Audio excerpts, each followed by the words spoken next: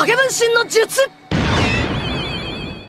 Oyez, oyez, peuple de Konoha, waouh, quel plaisir de vous retrouver aujourd'hui. J'espère que vous allez bien et que vous avez passé une très bonne semaine. De mon côté, j'ai envie de vous dire que ça va, mais je suis grave content de pouvoir me dire qu'aujourd'hui, on va pouvoir discuter vous et moi. Évidemment, nous allons parler d'anime, mais plus que cela, nous allons plonger dans l'univers de l'occultisme.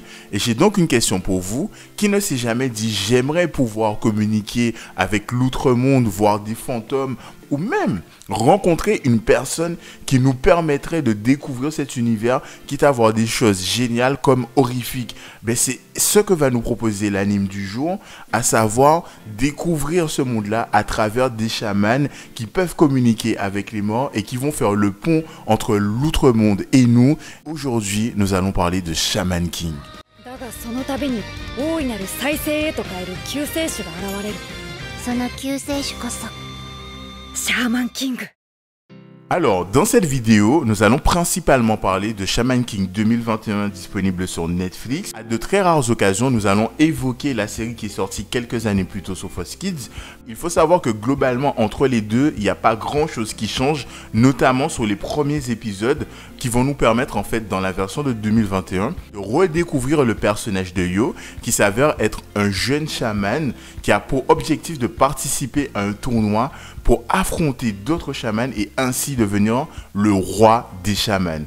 Et donc tout le long de ce pèlerinage, on va le suivre rencontrant des personnes qui vont devenir ses potes, d'autres personnes qui vont devenir ses ennemis. Et tout le long de ce pèlerinage, ce sera aussi l'occasion pour l'anime d'introduire, de développer son univers autour, autour des pouvoirs chamaniques qui vont nous être montrés d'une façon, ma foi, qui est plutôt originale. Donc ça, c'était, on va dire, un petit peu pour l'introduction. À partir de maintenant, je vais rentrer dans le vif du sujet. Je vais vous expliquer en quoi, pour moi, Shaman King 2021 est une occasion manquée, voire une déception. Ça y est, on y est. C'est le fameux moment où je vais mettre le doigt sur ce qui me dérange dans la version de 2021 de Shaman King. C'est le côté rush and cut. Et le pire, c'est que cet aspect-là, en fait, va durer jusqu'aux derniers épisodes. Et j'ai presque envie de dire, limite, c'est un peu gâché mon visionnage. Mais je vais être un peu plus explicite. On va s'attarder ne serait-ce que sur l'introduction. Vous savez, c'est ce fameux moment où on va nous introduire les notions et les règles de cet univers-là, mais surtout, c'est l'occasion de nous présenter les personnages qu'on va suivre tout le long de l'aventure. Par exemple, si on s'attarde sur Oro Oro, dans la version de 2021, sa quasi première rencontre avec le spectateur et Yo, c'est au moment où justement ces deux-là vont se taper dessus. Et c'est un combat durant lequel ils vont discuter vite fait de ce que représente pour eux le fait d'être Shaman King. Et après ce combat, ils vont se retrouver chez Yo, ils vont se taper une bonne bière et ils vont se dire Waouh, j'ai trop l'impression que tu es mon frère d'une autre mère. Et moi je suis en mode Mais what? Ça fait même pas 20 minutes que vous connaissez. À quel moment vous en arrivez à penser cela? Moi, c'est le genre d'amitié pour lesquels j'ai du mal à accorder un minimum de légitimité parce que je me dis qu'en fait, les gars n'ont pas vécu suffisamment pour arriver à cette conclusion. Si on s'attarde sur la version de 2001 et qu'on s'arrête encore une fois sur le personnage de Ororo, il va avoir droit à un épisode introductif dans lequel il va avoir sa propre péripétie qui à un moment donné va croiser le chemin de Yo. Ça va être pour eux l'occasion d'apprendre à se connaître, de se présenter et de pourquoi pas traîner ensemble quelques jours jusqu'à ce qu'ils se rendent compte qu'à un moment donné, il va falloir qu'ils s'affrontent pour le tournoi des chamans dans la phase 1. Et donc, au dehors de cette surprise-là, au moment du combat, ils vont encore une fois, si on peut s'exprimer en ces termes, discuter de ce que ça fait d'être le roi des chamans et qu'est-ce que ça implique.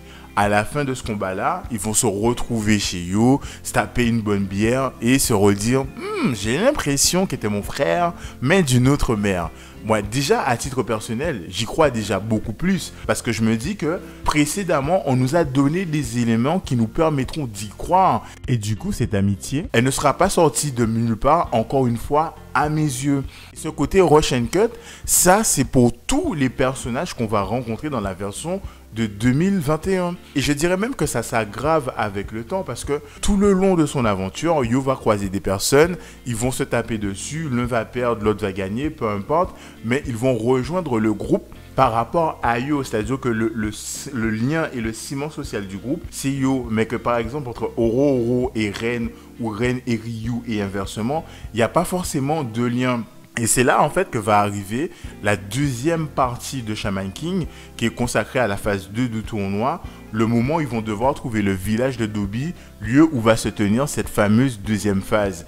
Et là encore une fois, c'est rushé de fou malade dans la version de 2021, alors que dans la version de 2001, ils ont compris ce que ça veut dire en road trip. Parce que là en fait, dans cette deuxième phase, on va suivre de nouveaux acteurs qui vont interagir entre eux. Et en fait, ce qu'ils ont fait, c'est qu'ils ont mis quelques épisodes entre le départ de, de Tokyo jusqu'à Dobby, durant lequel en fait le groupe va vivre des choses ensemble, va apprendre à, être soudé, découvrir certains aspects qu'ils ne connaissaient pas forcément durant la première partie. Même certains personnages hein, comme Ororo vont s'extraire du groupe, nous permettant de les découvrir sur un nouveau jour. Et quand ils arrivent au village de Dobby pour former les équipes, mais tu sens que même si l'alchimie elle est pas ouf, il y a un minimum de background.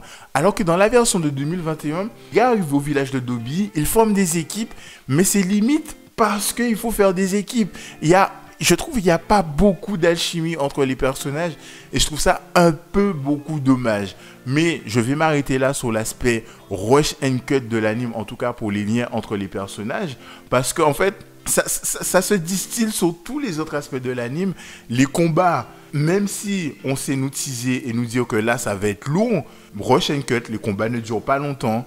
Et c'est dommage parce qu'en vérité, à un moment dans l'anime, les gars vont avoir des power-up et des pouvoirs complètement fumés et tu t'attendrais à avoir des combats dantesques. C'est pas du tout ce qui va se passer en vérité parce que les combats ne durent pas très longtemps, mais on va pas non plus passer 10 ans là-dessus. Je pense que vous avez compris où je voulais en venir avec cette notion de rush and cut. Maintenant, on va faire un petit détour sur les points positifs de l'anime parce qu'il faut dire ce qui est.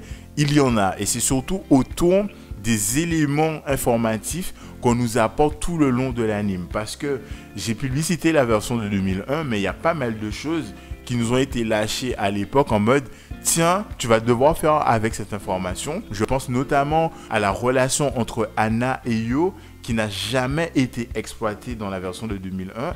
Eh ben, dans la version de 2021, nous avons droit carrément à un arc va nous expliquer comment Yo a rencontré Anna, quel genre de personne elle était avant de devenir sa fiancée, et on se rend compte que c'était une jeune fille qui était capable de lire dans les pensées, et ses pensées étaient tellement négatives autour d'elle qu'elle s'est retrouvée dans une espèce de forme de solitude pour ne jamais rentrer en contact avec ces gens-là, et cette solitude-là a fini par créer des démons autour d'elle. Et c'est à ce moment-là qu'elle va rencontrer Yo qui va l'extirper de cette solitude. Et vraiment, quand tu me dis que Yo et Anna sont ensemble, ben là, ben typiquement, j'y crois. C'est compréhensible. Ils vont même encore plus loin. Ils vont nous expliquer comment Yo a obtenu son collier. Et ça nous permettra en fait de découvrir le personnage de Matamune et indirectement en apprendre un peu plus sur Ao, qui est finalement un très grand mystère pour nous hein, dans la version de 2001. Et typiquement, ça fait partie des choses qui font extrêmement plaisir. Et en dehors de ça, c'est même l'univers de Shaman King qui va être étoffé avec de nouvelles mythologies, de nouveaux mythes. Ça va être l'introduction, par exemple, des esprits élémentaires dont fait partie le fantôme gardien de Ao. Donc, il y a vraiment, il y a des trucs qui sont pas mal stylés. Il y a aussi les entraînements qui sont assez originaux parce que finalement, c'est quoi Shaman King? C'est un anime qui va parler de mortalité, c'est un anime qui va parler de et de fantômes.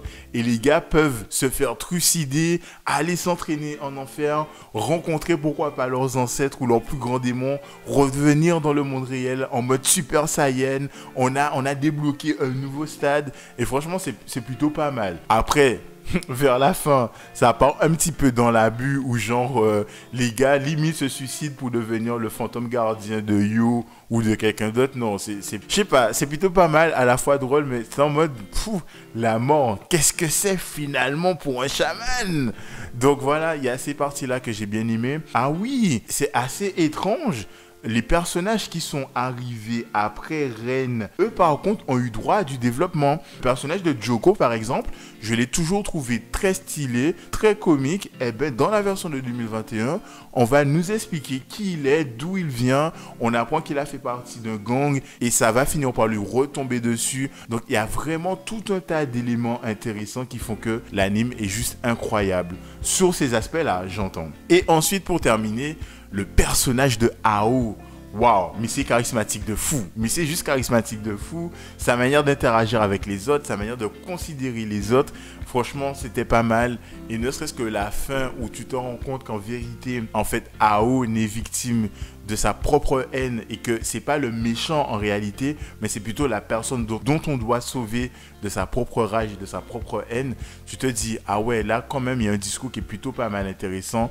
Mais c'est bâclé, c'est bâclé, c'est bâclé. Donc au final, on en revient toujours au rush and cut. Et moi, je trouve ça que c'est un petit peu dommage.